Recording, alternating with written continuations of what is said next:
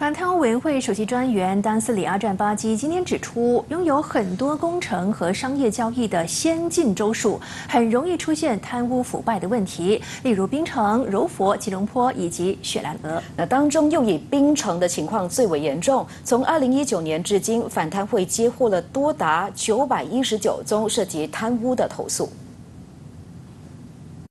反贪会首席专员阿占巴基点名槟城、柔佛、吉隆坡及雪兰莪这几个州属和联邦直辖区有很多工程和商业交易，因此很容易出现贪污腐败的问题。当中又以滨州公务员收贿、滥权和虚假申报的情况最令人担忧。阿占巴基指出，根据反贪会统计，从2019年至今，接获多达919宗涉及种种贪污罪行的投诉。他说，滨州公务员经常犯下的两项罪行是收贿和滥权。根据统计，反贪会在滨州接获了三百一十二项收贿以及一百四十七项滥权的情报。阿占巴基今天在穆提拉 FM 及滨州国营电台 RTM 联办的关注贪污访谈节目中解释说，比如在发放工作合约方面，把合约发给家族或拥有血缘关系的人士，就是涉及滥用职位牟利的罪行。